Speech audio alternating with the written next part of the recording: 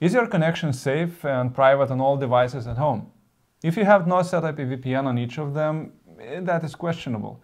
But let us save you some valuable time by saying that you can secure your whole home network by setting up a VPN straight on your router.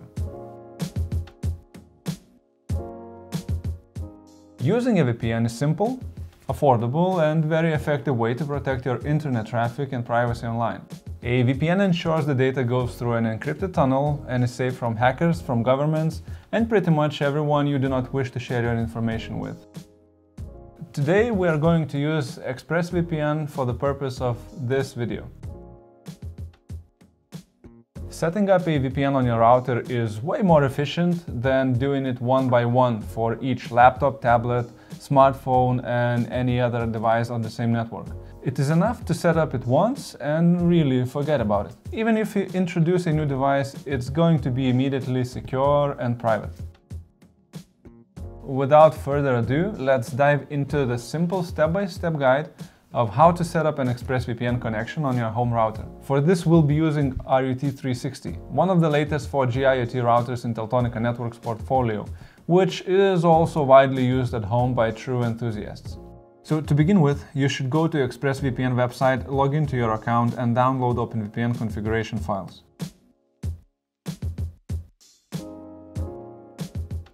Now, we suggest choosing the server that is closest to your location or testing multiple available options to figure out which one works best for you. Um, you may do so by checking your internet speed at websites such as speedtest.net. Now, to access router's web UI, go to Services, VPN, and OpenVPN. Create new configuration by filling in your desired network configuration name, then select client role and press Add button. Next, follow on-screen instructions.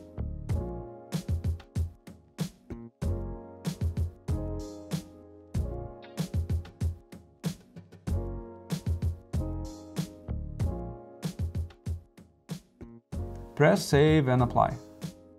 Then you will be forwarded back to OpenVPN configuration window and if you have applied the configuration correctly, it will appear as connected. It might take a couple of moments to connect though. Now, should you like to increase your anonymity, there are additional steps you may take, so check the links in the description for more details. And that's all. Your internet traffic now travels to a VPN tunnel.